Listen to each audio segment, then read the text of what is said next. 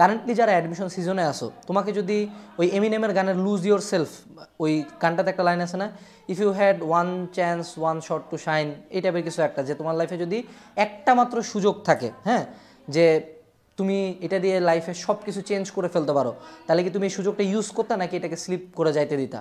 ঠিক তেমন এরকম একটা কথা যে তোমার লাইফে যদি এখন আমি তোমাকে এমন একটা অপরচুনিটির কথা বলি, যেই অপরচুনিটিতে তুমি কে তুমি কোথা থেকে আসছো, কোথায় বড় হইছো, তোমার ফ্যামিলিকে তোমার জেএসসিতে রেজাল্ট কী ছিল, তোমার পিএসসিতে রেজাল্ট কী ছিল, তোমার স্কুলে কত রোল ছিল, তোমার কলেজে কেমন রেজাল্ট হয়েছে, তুমি আদৌ ফেল করছ কিনা, তুমি কেমন মানুষ, তুমি দেখতে কেমন, তুমি যদি সব কিছুর পরিচয় চেঞ্জ করতে পারতা, তাহলে তুমি কি ইউজ করতে পারতা কিনা, তাহলে কি তুমি এই সুযোগটা ইউজ করতা কিনা, আমার প্রশ্ন এটা তোমার যদি উত্তর হ্যাঁ হয়, তাহলে সেই সুযোগটা হলো অ্যাডমিশন ট্রাস্ট মি বাকি সব পয়েন্ট বাদ দাও, তুমি তোমার শিক্ষাগত যোগ্যতা যদি একবারে চেঞ্জ করে ফেলতে চাও দ্যাট চান্স ইজ অ্যাডমিশন তুমি যদি ভালো একটা ভার্সিটিতে চান্স পাইতে চাও, ভালো একটা ভার্সিটিতে চান্স পাও হোক বুয়েট, হোক মেডিকেল হোক ঢাবি, হোক রাবি, হোক যাবি হোক প্রাইভেট তোমার যেইটাই টার্গেট হোক না কেন, তোমার যেইটাই টার্গেট হোক না কেন ম্যাথ তুমি যদি তোমার কাঙ্ক্ষিত ভার্সিটিতে চান্স পাও from that day till the next four years যেদিন পর্যন্ত তুমি ওই ভার্সিটির সার্টিফিকেট নিয়ে ভার্সিটির গেট দিয়ে বের না হইলা সেই দিন পর্যন্ত তোমার পরিচয় তোমার ভার্সিটি এটা সত্য কথা। এ তুমি ডিনাই করতে পারবে না। তুমি কি এতদিন ধরে এই সুযোগটা চাচ্ছিলে না যে তোমার পরিচয়টা চেঞ্জ হোক, তোমাকে মানুষজন পজিটিভভাবে চিনুক? তুমি কি এটা চাও না যে তোমার বাপ মা তোমাকে নিয়ে একটা গর্ব করুক যে না, আমার ছেলে এখানে পড়ে বা আমার মেয়ে এখানে পড়ে, আমার ছেলে এই জায়গায় চান্স পাইছে, ছেলেটা অনেক পরিশ্রম করছে। তুমি কি তোমার বাবা মাকে প্রাউড ফিল করাইতে চাও না ম্যান তুমি কি চাও না যে তোমার আশপাশের মানুষজন তোমার পাড়া পড়ছে তোমার পাশের বাসার আন্টি তোমাকে যারা অপমান করছে, তাদের কথাটা জবাব দিতে, তাদেরকে নিজের সম্বন্ধে একটা ভালো কিছু জানাইতে যে, না, আমি এই জায়গায় পড়ি, আমি এই জায়গায় চান্স পাইছি। তুমি কি চাও না যে তারা তোমাকে একটু রিসপেক্টে দেখুক? না, তুমি কি চাও না যে তোমার ফ্রেন্ড সার্কেলে তুমি একটা ভালো পজিশন হোল্ড করো? তুমি কি চাও না যে তোমার বন্ধুরা, তোমরা সবাই মিলে একটা ভালো জায়গায় পড়ো? আমার মনে হয় তুমি সব কিছুই চাও।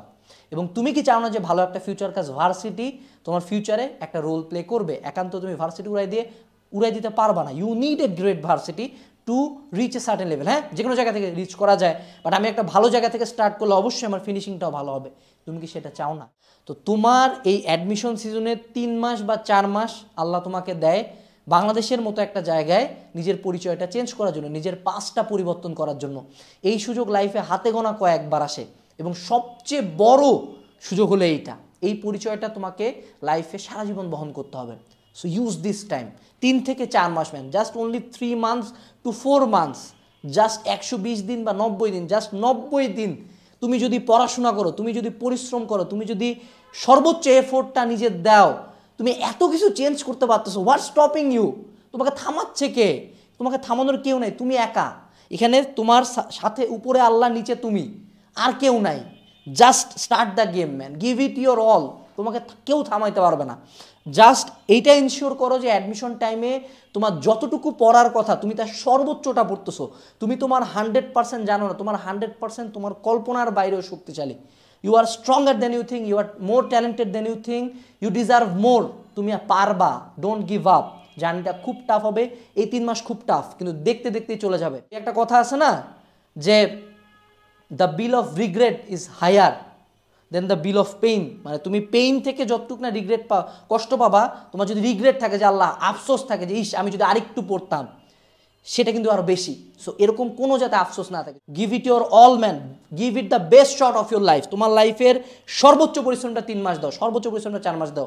ইনশাআল্লাহ, মহান আল্লাহ তাআলা যদি চান তোমার যেই ধর্মাবলম্বী হোক না কেন, তোমার সৃষ্টিকর্তা যদি চায় এবং তোমার এফোর্ট হান্ড্রেড পার্সেন্ট থাকে, তুমি সফল হবাই। হবাই ইতিহাস বলে কোনো দিন কোনো পরিশ্রমী চান্স মিস যায় নাই। So give it your all man এইটু this is the last chance give it your best